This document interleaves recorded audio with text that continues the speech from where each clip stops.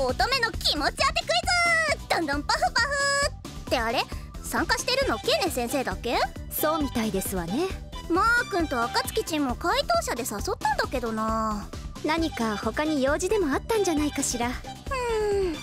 まあいっか。そんじゃケーネ先生に問題。じゃじゃん。3択問題です。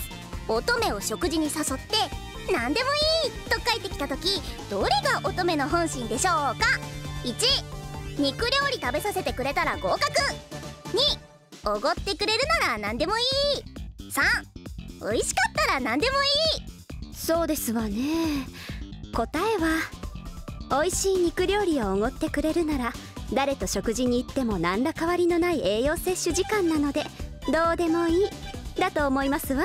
おおさすがケーネ先生。ってことで超人高校生たちは異世界でも余裕で生き抜くようです。第10話リンゴは勇気を出して狩人になるようですでは最後の問題。じゃじゃん。リンゴちゃんは今誰かとデートをしたいと思っています。さてその誰かとは誰でしょう？あらまあこれは言わずもがなのサービス問題ですわね。